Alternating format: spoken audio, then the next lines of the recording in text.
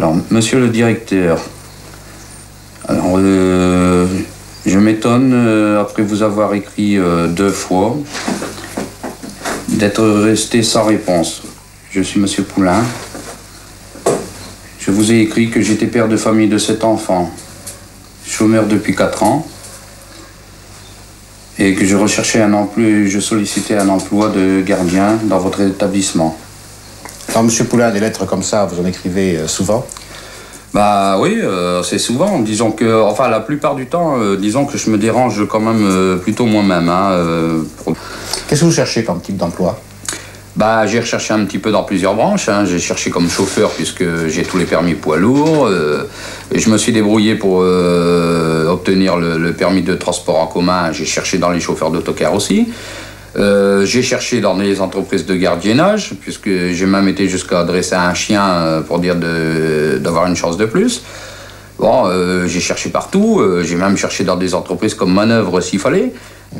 Alors, je vois que c'est votre femme qui écrit les lettres. Pourquoi c'est votre femme qui écrit la lettre? Bah, disons que j'ai le problème, vous voyez, moi, en étant jeune, j'étais trimballé à droite à gauche. hein, j'ai le problème de, de ne pas savoir écrire.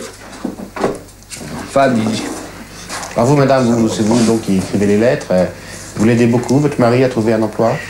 Oui, je fais tout ce que ce qu'il faut quoi pour faire euh, pour l'aider à trouver un travail. Il écrit tout partout, il n'y a pas moyen, aucune réponse. En général, vous ne, vous ne recevez pas de réponse? Non, jamais, jamais.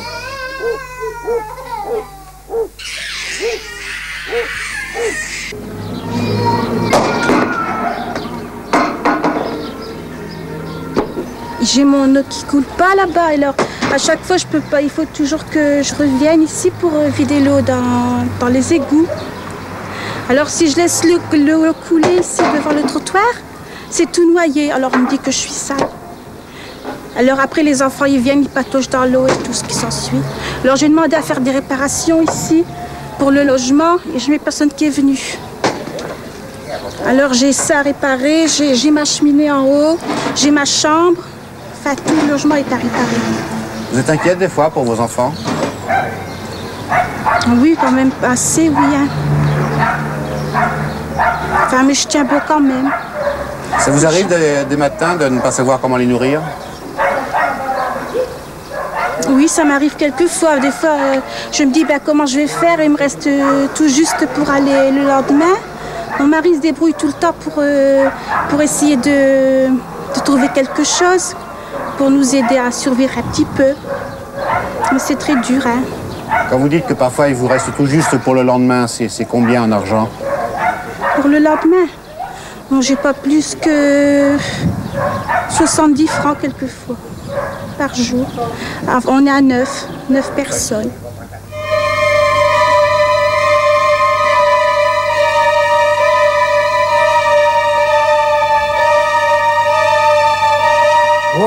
Suis boulanger, je suis dans un pays minier. Ce sont des gens malheureux, ils demandent qu'à travailler, ils n'ont pas de travail.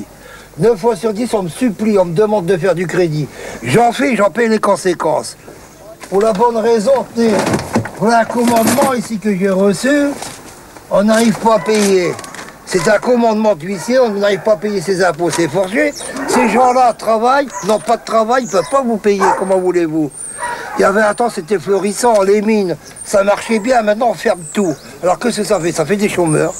Ça fait des chômeurs, et on leur donne de l'argent au chômage, un an, six mois, j'ignore combien, au mieux de faire travailler tout le monde. Le travail est mal rétribué, comment voulez-vous que ça aille? Tout le monde est révolté. Moi c'est pareil, j'ai fait des petits pains, regardez ici. Bon, dans un pays minier, j'en vends 30-40, le reste me reste sur le dos. Bon ben, la, rage me prend, je vois quelques petits malheureux. Tenez les enfants, venez un petit pain. C'est vrai, c'est pas vrai, monsieur Je distribue parce que ça fait mal au ventre, moi, de voir ça.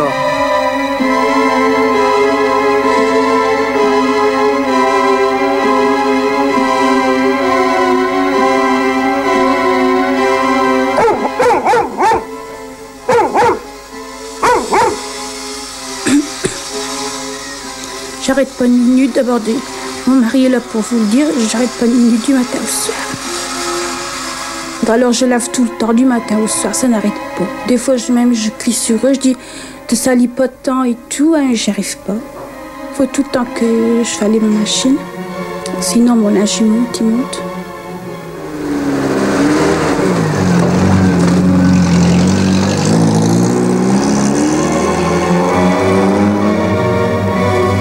Vous chauffer, des fois, vous allez voler du bois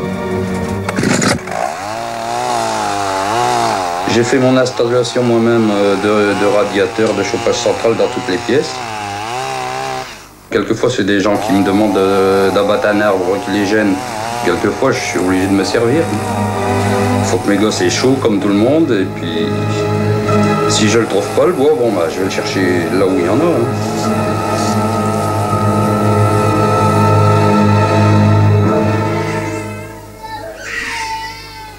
Là, Monsieur Poulain, vous faites vos comptes. Qu'est-ce que vous avez comme, euh, comme ressources euh, régulières en ce moment? Alors, comme ressources régulières, euh, les allocations familiales, strictement. hein. Et, Ça fait combien? Bah, 4600 francs, je crois. hein. Vous savez, quand vous écoutant, il y a beaucoup de gens qui vont se dire, oh, finalement, ce sont des gens qui, qui vivent de leurs enfants. Qu'est-ce que vous en pensez? Oh, moi, je suis pas d'accord. Hein. Nous, enfin, sûr, on, veut- on vit pour nos enfants, quoi. Euh, moi, si je reste là, c'est pour mes enfants parce que j'en ai vraiment marre. hein. Non, mais je veux dire qu'il y a des gens qui vont penser que vous avez fait beaucoup d'enfants simplement pour les allocations familiales. Ah, non, non, c'est pas ça, non. Enfin, moi, c'est pas mon avis à moi. Hein. Parce que comment peut-on faire vivre cet enfant avec 4600 Bah, francs par mois? Comme grosse dépense, euh, on a le problème euh, de l'électricité. Comme ici, j'ai une facture d'eau qui est de 96 000 francs, plus une facture d'électricité de 57 000. Sur 460 000 francs, ça, ça prend déjà un coup. hein. Bon, t'arrêtes euh, tous les deux là. Alors, attention là, tu vas te faire voler. Du ragoût, c'est plus économique pour des une grande famille. Du ragoût, bien du saucisson, ça vient en tranche avec euh, une paire de frites, du bouillon, bouillon de légumes. Autrement, on n'y arrive pas, on peut pas. Il aime le poireau, tu vois C'est bon, il va te donner. Bon, Pourquoi euh, ils mangent pas à la cantine bah, euh, parce que j'ai pas les moyens. Vous savez, ils sont dans trois écoles différentes. Alors, on s'en sortait avec des sommes de, de 100, 150 000 francs euh, pour un seul repas. Le boulanger, ça vous coûte combien par mois? Euh, 153 000, je crois. Si vous voulez, une fois que j'ai payé toutes mes factures, sur les allocations, il nous reste strictement rien. hein. Euh, alors, euh, c'est le problème, euh, me débrouiller, bah, tous les jours, j'essaye de gagner 100, 150 francs, euh, avec des solutions qui ne sont quelquefois pas, pas tout à fait normales, je, le- je le reconnais, mais enfin, Où tu vas, papa? Bon, ça ne te regarde pas, rentre à la maison, hein. Va voir tes frères là.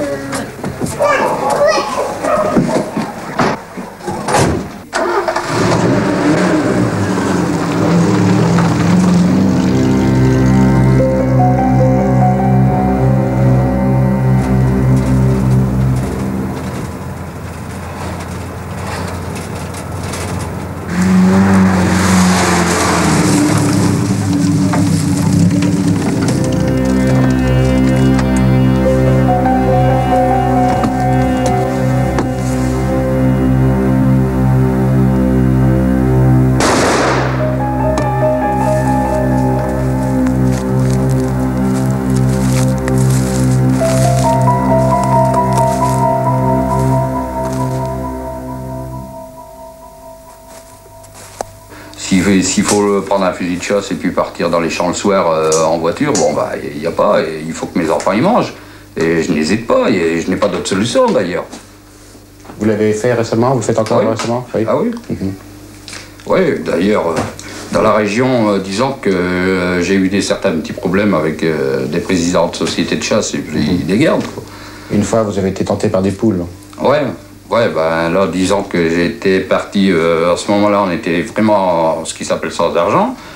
Et puis, euh, il y avait une grosse entreprise fermière. Donc, euh, je suis parti, j'ai pris cinq poules. Puis, quand je suis rentré chez moi, il y avait ma femme qui avait touché un petit mandat.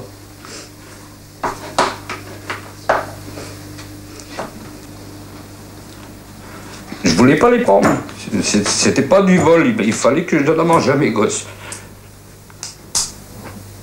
Donc comme on avait eu ce mandat, et puis qu'avec ce petit mandat, bon ben, ça nous permettait de, de vivre deux, trois jours, j'avais le temps de revoir autre chose devant moi.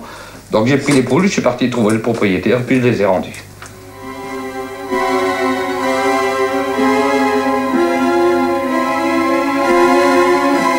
Été un certain temps, oui, été découragé. hein. D'ailleurs, euh, j'ai sombré un petit peu dans la boisson. euh, j'ai eu pas mal de trucs. hein. Euh, j'ai essayé de me suicider il y a à peu près, à, peu près il y a 4 ans, hein, après ma perte d'emploi. Ben, ça s'est passé que. Oui, était vraiment à bout de nerfs au bout du rouleau.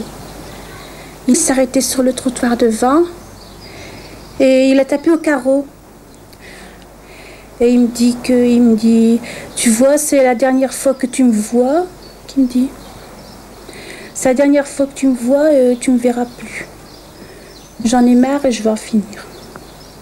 Ben, moi, je ne savais pas. Je croyais qu'il me disait comme ça une blague que je savais pas. Alors il a pris son auto, il, il est monté dans son auto et il a été tout jusqu'au bout de la route là-bas.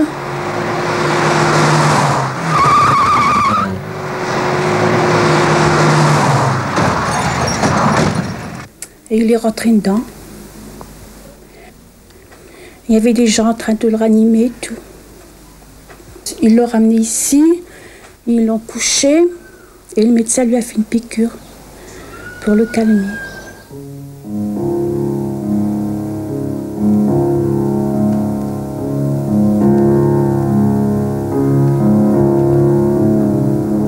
À quel âge vous êtes marié? À 21 ans. 21 ans. C'était comment la vie heureuse après le mariage Bah, la vie heureuse, euh, disons qu'il y était une période où on travaillait tous les deux.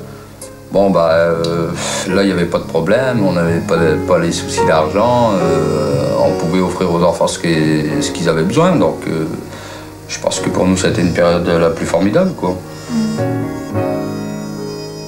Bon, moi, j'étais, j'ai- je travaillais de nuit. Le seul petit problème qu'il y avait, c'est que quand ma femme s'en allait travailler le matin, bon, ben, moi, c'était l'heure où je rentrais. Donc, euh, je pouvais pas me coucher, je m'occupais des enfants le midi. euh, je lui préparais son dîner quand elle rentrait l'après-midi de son travail. Et puis, euh, rebelote, j'allais coucher l'après-midi, c'était elle qui s'occupait de moi le, le- le soir avant de partir au boulot. Mais là, je pense qu'on a été heureux à ce moment-là. Puis, bon, bah, on avait un matériel caméra Super 8 et puis on filmait euh, l'évolution des enfants, euh, tout ça. On a gardé ces films-là, mais disons que la caméra et tout, on n'a plus les moyens de garder ça.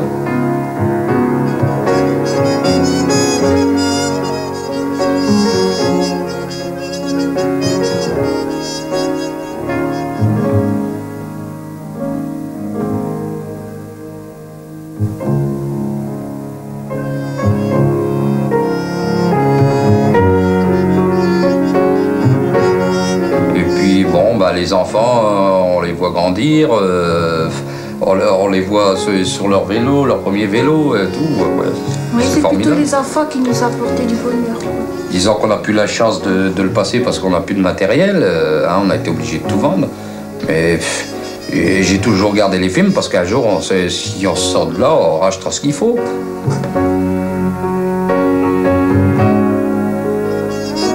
Une belle vie, on, était salariés tous les deux, bon ben on pouvait se permettre euh, pas mal de choses. Je voyais toi rose. Je voyais toi rose et puis on a eu un appartement.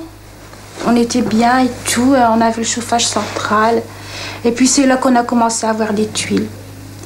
Bon, j'ai failli perdre mon garçon et à l'âge de 6 mois. Il a fait une déshydratation avec euh, le chauffage central dans les appartements. Et c'était juste le soir de Noël. Alors on avait fait un beau sapin, un grand sapin avec des boules et tout. Euh, mon mari était retourné, il a rentré à la maison. Il était retourné, je ne savais plus quoi faire. Alors ça, ça a commencé là. hein. Puis ce temps-là, euh, ça va pas. Vous faites des rêves la nuit, monsieur Poulain? Ah oui, ça, ça, ça ne me manque pas, oui. Ouais. Je rêve euh, de choses bêtes. Je, voudrais.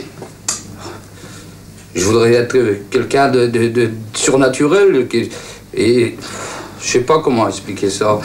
Euh, mon rêve, moi, c'est d'aider tout le monde, de ne plus voir personne de malheureux. Alors, euh, je me prends pour un Superman, pour, pour quelqu'un qui peut aider les autres, qui peut, qui peut faire tout ce qu'il veut. Ça, ça m'arrive toutes les nuits. Mais d'ailleurs, il- c'est même rare que je dors. Je voudrais aider les gens si, si, si, par malheur à la télévision je vois des gosses malheureux, que je vois des gens massacrés ou bien quoi. C'est tout, le soir il faut que je rêve.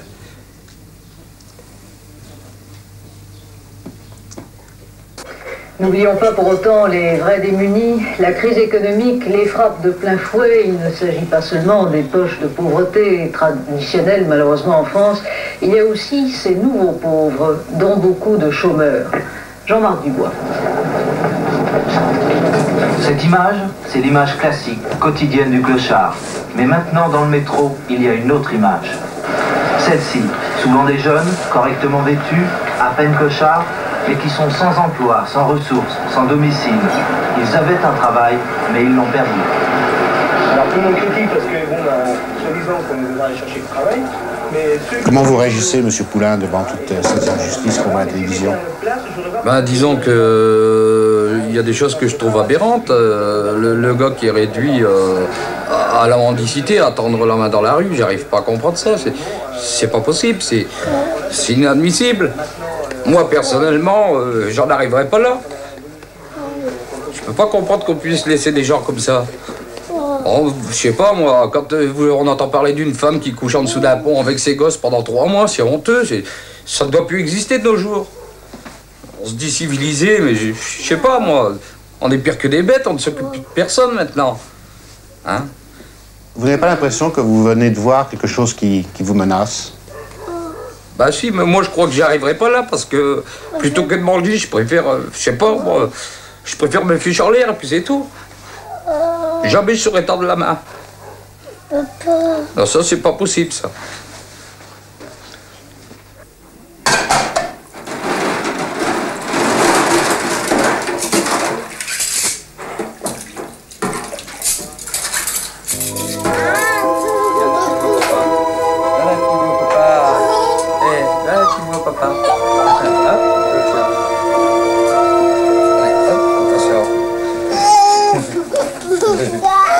Qu'est-ce qu'elle fait